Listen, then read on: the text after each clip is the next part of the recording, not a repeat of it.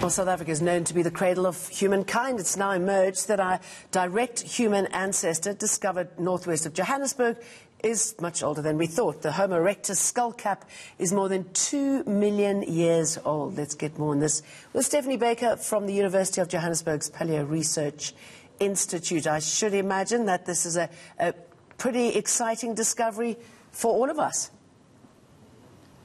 Good morning. It definitely is.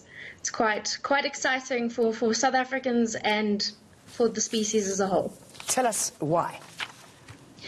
So Homo erectus is the species that leads directly to you and I. So that's why it becomes so important and so critical for us because I think we we're quite speciest. We like those that lead specifically to you and I. But Homo erectus is also quite important because it's the one that left Africa.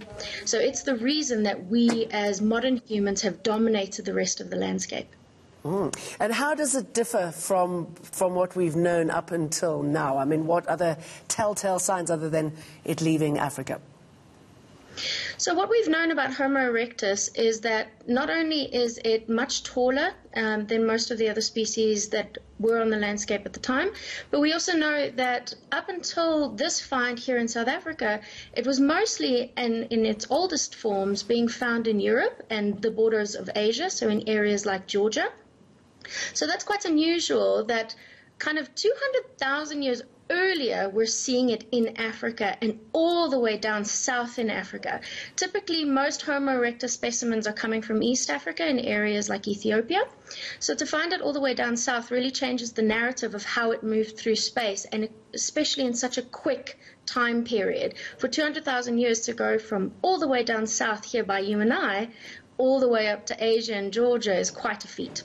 And what do you put that speed down to, and what else have you learned from it, the sort of lifestyle it would have led? So we know that one of the things we can really say about Homo erectus, and that becomes characteristic of you and I as, as a genus, is adaptability. Homo erectus is unusual because it is so adaptive. Most of the other species that we see on the landscape at the same time, at this 2 million mark, is things like Paranthropus robustus, which is another species that Drew is quite famous for, and Australopithecus, things like Sediba, the newly discovered species these are very uh, niche specific. So they're eating very specific things and they're using very specific parts of the landscape. Homo erectus doesn't do that.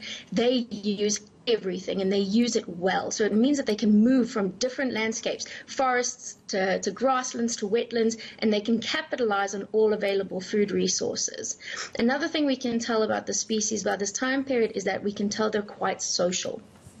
So that's another that? thing that's more characteristic of you and I, right? We know that they're moving in slightly larger population numbers mm-hmm. and that cognitive capability, their brain um, capacity is increasing. And it's increasing for a number of reasons, but one of the clear ones is its ability to work as a team in a sense. So now it's it's a group of these these hominins running around the landscape, uh, intimidating big cats, so to speak, and, and out competing all these other hominins that are too specialized to adapt. Sounds like the uber species. How did you make this discovery? What happened?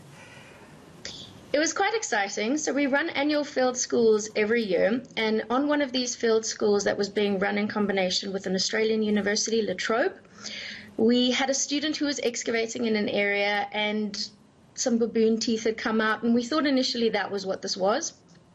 And these skull pieces started coming. And we were looking at them, and most of us were going, Oh, it's just baboon. Don't worry about it. It's just a baboon.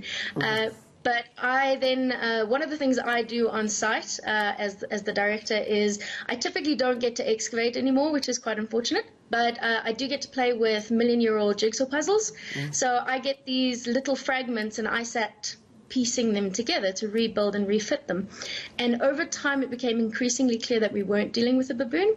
The plates of the skull are too thin uh, and also the shape, the overall shape didn't make much sense. Baboons, despite their very big heads, tend to have very small brains, uh, and whereas you and I have very big brains, right? Um, for all it's worth. Yeah. Uh, yeah. and this this shape, this teardrop shape that started to form, was abundantly clear that we were dealing with a hominin. So the next step then was, well, which one? Okay, Stephanie Baker, we're going to have to leave it there, unfortunately, but congratulations, sure. what an exciting find. Still to come.